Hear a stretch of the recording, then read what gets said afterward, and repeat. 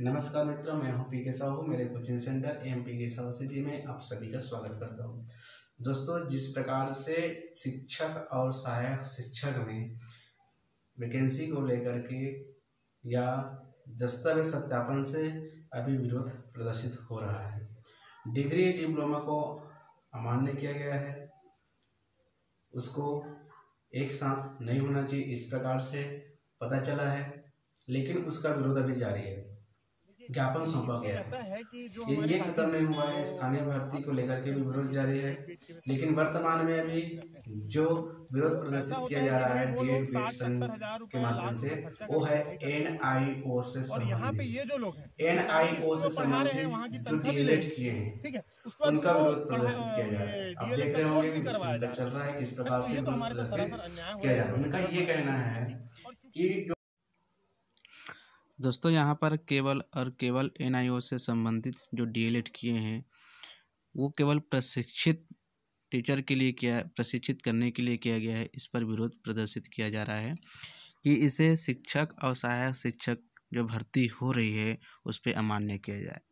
क्योंकि जो डी किए हुए हैं, रेगुलर जो किए हुए हैं, उनको पहले प्राथमिकता दिया जाए और जिस प्रकार से इसको प्रशिक्षित करने के लिए जो डी किया गया है, उनका उसी प्रकार से रहने दिया जाए। क्योंकि इससे जब रेगुलर किए हैं, उनको बहुत हानि होने वाला है, क्योंकि उनके स्थान पर डीलेट को लिया जा सकता है। है, वो अप्रशिक्षित जो टीचर है जिनको ये कहा गया है कि आप जो है, शिक्षक हो, आप अप्रशिक्षित हो। वो प्रशिक्षित करने के लिए उस कोर्स को निकाला गया है। यदि वो नहीं करते तो हो सकता था उसको स्कूल से निकाल दिया जाए। इस प्रकार से उनको 18 माह का कोर्स कराया गया। ये कहना है कि वो द्विवर्षीय नहीं है और उसको संडे संडे क्लास लेकर के इस प्रकार से उनको डीलेट कराया गया है।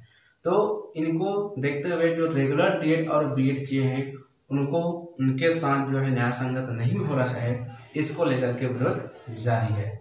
जिसमें डीएलएड जो किए हैं वो सहायक शिक्षक विज्ञान और शिक्षक दोनों में उसको यदि मान्यता दे रहे हैं तो इनमें जो रेगुलर किए हैं, जो अधिक खर्च करके, जो बाहर रह करके अपना केवल डीएड केवल और डीएड और डीएड में फोकस किए हैं, उनको इस प्रकार से जो है फ़ायदा नहीं मिल पाएगा, इसको लेकर के विरोध जारी है।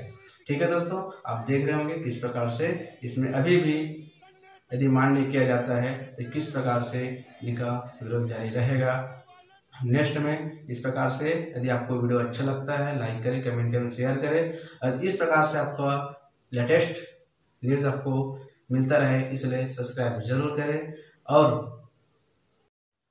आइए सुनते हैं क्या कहते हैं डेट बेट के संघ के सदस्य और अध्यक्ष। हमारा प्रमुख मांग यही है कि छत्तीसगढ़ में अभी अभी भर्ती निकली है, लगभग एक साल हुआ है, नियमित शिक्षकों की भर्ती निकली है, और इस भर्ती में सरकार के द्वारा लगभग 16 लाख लोगों को जो प्राइवेट स्कूल में और सरकारी स्कूलों में पढ़ाते थे, जिनको जो ट्रेनिंग नहीं लिए थे बी एड डी एल का ट्रेनिंग नहीं लिए थे, उनको सरकार के द्वारा एक साल में ट्रेनिंग दिया गया, और जो कोर्स हम दो साल में पूरा करते हैं, वो कोर्स महज संडे संडे का क्लास लेकर उनको दिया गया, और इस भर्ती में उनको सरकार के द्वारा मान्यता दी जा रही है तो हम इसी के विरोध में आज यहाँ खड़े हुए हैं कि जो एन के द्वारा जितने भी प्रशिक्षार्थी हैं जिनको डीएलएड का कोर्स कराया गया है उनको यहाँ पर छत्तीसगढ़ में शिक्षक भर्ती में मान्य न किया जाए। क्योंकि नियमित डी जो किए हुए साथी हैं उनकी संख्या लगभग ढाई से तीन लाख है। पहले जो नियमित कर चुके हैं उनकी भर्ती हो जानी चाहिए। अगर उनसे कुछ बचता है तब भले जो एन सालों से संचालित है ये कोर्स?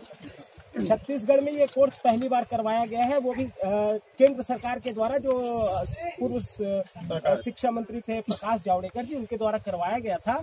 और लगभग उस समय हमारे प्रदेश में बीएड बीएड डिग्री धारियों की संख्या लगभग सत्तर हज़ार थी परंतु जब सरकार के द्वारा ये किया गया